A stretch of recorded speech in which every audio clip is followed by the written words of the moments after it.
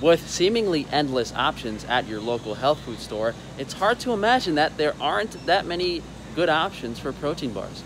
So let's take a look at the ingredients and go over why that's the case. I think just about everyone, including myself, would get incredibly overwhelmed when looking at all of these options. It is absolutely crazy. But the first thing we have to ask is, is the bar organic? If the bar is not organic, that kind of removes the worst options already. Does it make sense to look at the products that aren't organic? I guess so. I guess some of them might not be too bad, but that, that puts a lot up in the air. One thing I noticed immediately was these collagen protein bars have really been marketed strongly over the past few months. And if anything, these are worse than the majority of the other products. MCT oil is highly filtered. This hydrolyzed collagen has to go through so many processes. Imagine, they're making this from agrochemical feedlot beef waste. The skin, the hooves, all that garbage from cows they're putting in cashew butter. These collagen protein bars are one of the worst things that are being sold under clever marketing tactics. So this is a minimal ingredient bar. Organic dates, organic peanuts, organic strawberries, organic chia seeds. If we analyze each of these foods on an individual basis, you know, the peanuts have omega-6 concerns, the chia seeds have anti-nutrient concerns, strawberries and dates aren't too bad, but then all you have is caloric energy. So overall, I would say, you know, this bar isn't actually that bad. John's bar, it's all organic. Maybe they have a bar that's passable without omega-6.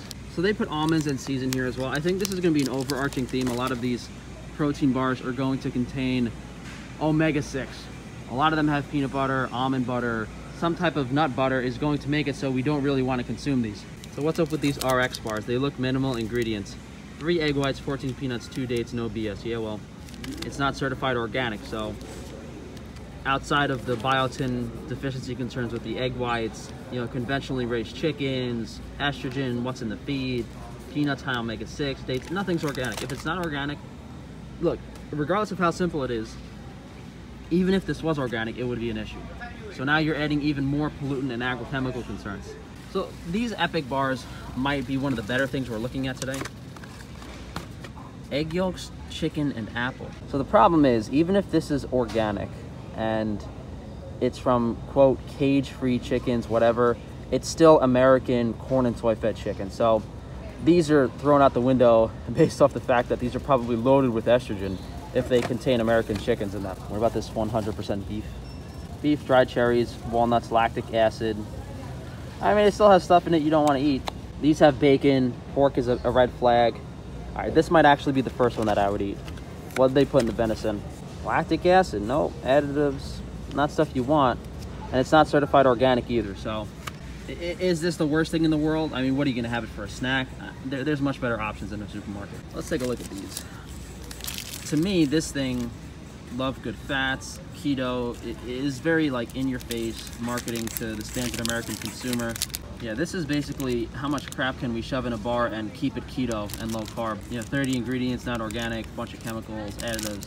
There's no reason in assessing this. This is near the bottom of our list so far. All right, so far we've looked at three categories of bars. They seem to have some meat-based bars that aren't organic, that are minimal ingredients, but again, we have conventional feedlot animal concerns. We have minimal ingredient bars. The non-organic ones are certainly inferior to the organic options we have. So really the Jones bars are looking pretty good. You know, we have the BS keto marketing bars that have 30 ingredients in them. Collagen protein is a, a category on its own, I think, in deceiving people. Let's check out organic plant-based performance protein bar. So although this is organic, the bioavailability and nutrition of this is is going to be all towards macronutrient energy. And look at that ingredient list, it's ridiculous, but let's go down it.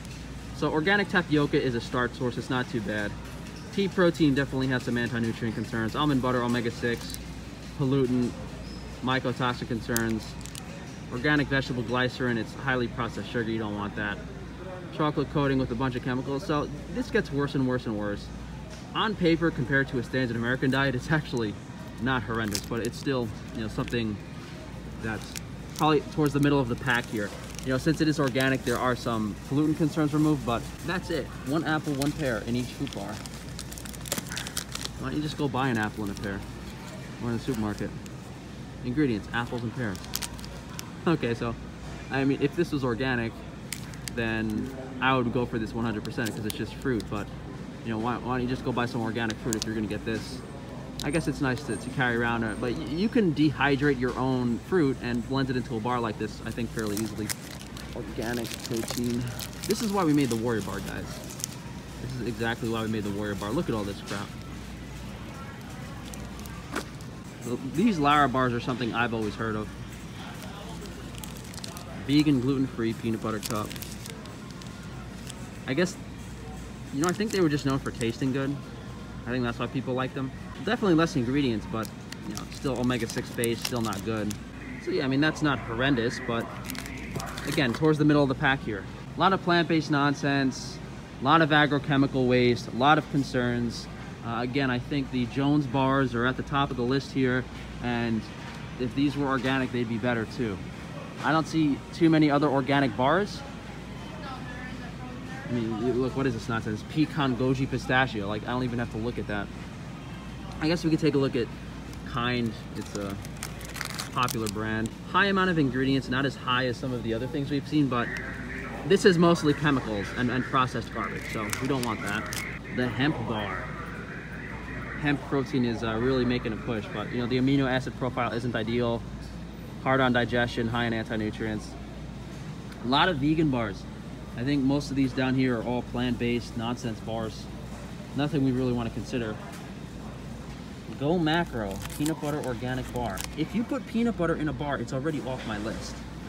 It, it's too expensive to use quality ingredients. You want to make a bar with macadamia nut, you're going to be spending a lot of money banana almond butter you know it's all mocha chocolate chip what's this mother daughter owned and based in a small rural community our mission is to spread awareness for a balanced plant-based lifestyle with products that aka we're poisoning you be nice to us because we're southern and we put 40 ingredients in it go figure yeah i was hoping i'd be pleasantly surprised by something oddly enough one of the first ones we looked at was the best one what about this Primal Kitchen astroturfing BS? I hate Primal Kitchen.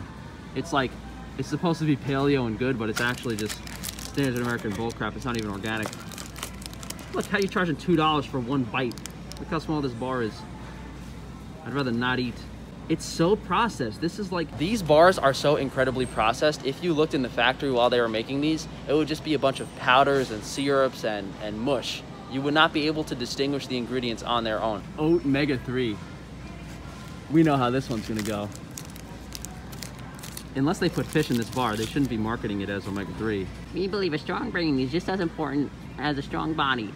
By packing our delicious protein bars with sustainably sourced omega-3s and 14 grams of grass- oh, I might have to shut up, grass-fed whey protein. Fucking shit here. They might have, they might have me uh, beat. Grass-fed whey protein concentrate. So it's probably an American whey, so the grass-fed marketing is probably deceitful. Oh, they put fish in here. Man, this must taste horrible. but why would you put whey protein, fish oil, and then put all the, the, the, if you have allergies, this thing would make you sick and go to the hospital. So there's two concerns here. One, you know, it's not organic whey. It's not from a, it's probably American whey. So there's agrochemical and estrogenic concerns. And you never want to buy a fish oil supplement. It's basically oxidized omega-3 and then they put vegetable. Why would you put vegetable glycerin, tapioca syrup, in something that is seemingly good? The marketing on this is terrible. Oat Mega 3. Why don't you call it like Fishy Whey 3 or something? I don't get it. Oat Mega 3, Oat Mega 3. Oat Mega 3, Oat Mega 3. I don't know, apparently they're not doing that well. What about these guys? Square Organics.